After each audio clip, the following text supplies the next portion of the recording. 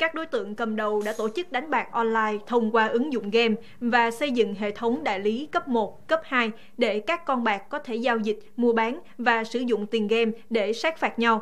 Khám xét 5 đại lý game tại Thanh Hóa, Sầm Sơn và Hà Nội, lực lượng chức năng thu giữ nhiều tăng vật phục vụ việc đánh bạc, một ô tô, gần 500 triệu đồng và khoảng 8.000 tập tài liệu thống kê giao dịch lên tới gần 4.000 tỷ đồng.